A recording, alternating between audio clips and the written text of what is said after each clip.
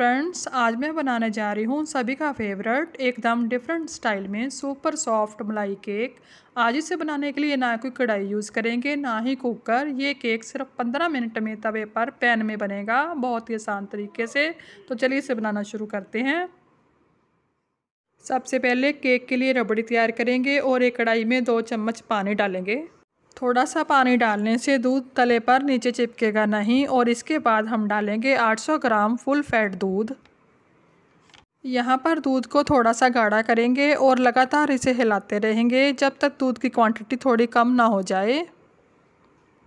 थोड़ा सा केसर लेंगे और दो तीन चम्मच दूध डालकर भिगो कर रख देंगे।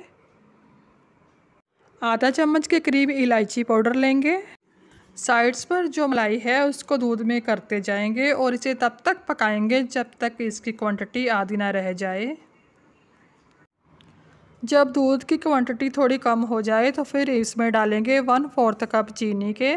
फ्रेंड्स ये केक बहुत ही अच्छा बनता है। इसमें आपको मिलेंगे डिफरेंट फ्लेवर रसमलाई का भी, रबड़ी का भी और केक का भी। जो हमने केसर के धागे दूध में भिगो कर रखे थे, वो डाल देंगे और साथ ही हम डाल देंगे हाफ़ टी स्पून इलायची पाउडर। इससे रबड़ी का फ्लेवर बहुत ही अच्छा आता है। रबड़ी बनकर तैयार है। अब हम गैस का फ्लेम बंद कर देंगे क्योंकि ठंडी होकर भी थोड़ी गाढ़ी हो जाती है। अब केक बनाने के लिए एक बॉल लेंगे और इसमें डालेंगे वन थर्ड कप दही के और साथ ही डाल देंगे हाफ़ कप पिसी चीनी और one third cup vegetable oil. और इन सारी चीज़ों को एक विस्कर की हेल्प से अच्छे से मिक्स करेंगे। मैंने अच्छे से मिक्स कर लिया है। अब हम एक छन्नी लेंगे और वन कप मैदा डालेंगे। इसमें हम डालेंगे एक छोटा चम्मच बेकिंग पाउडर और आधा छोटा चम्मच बेकिंग सोडा और अच्छे से मिक्स करेंगे। और इसको छान लेंगे। फिर से विस्कर से, इसको अच्छी तरह से मिक्स करेंगे।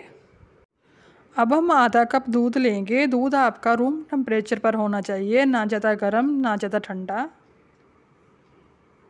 दूध को हमने एकदम से बैटर में नहीं डालना थोड़ा थोड़ा करके दूध डालते जाएँगे और मिक्स करते जाएँगे। लास्ट में थोड़ा सा दूध रह गया था, वो भी इसमें डालकर अच्छी तरह से मिक्स करेंगे। ये देखिए, हमको कुछ इस तरह की कंसिस्टेंसी चाहिए।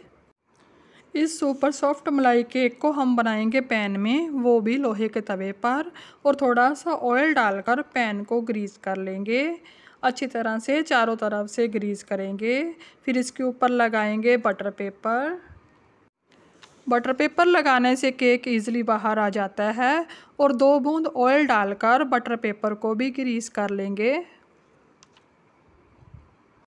अब हम लेंगे लोहे का तवा। तवे को मैंने पहले ही मीडियम फ्लेम पर प्री हीट कर लिया था।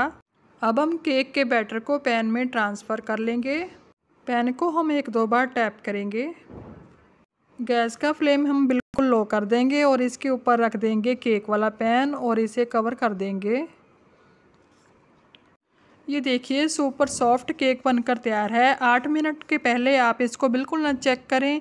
बारह से पंद्रह मिनट में ये केक बनकर तैयार हो जाता है। अब हम टूथपिक की हेल्प से केक को चेक कर लेते हैं। ये देखिए, टूथपिक बिल्कुल साफ़ आ रही है। ये देखिए, केक हमारा अच्छी तरह से बेक हो गया है।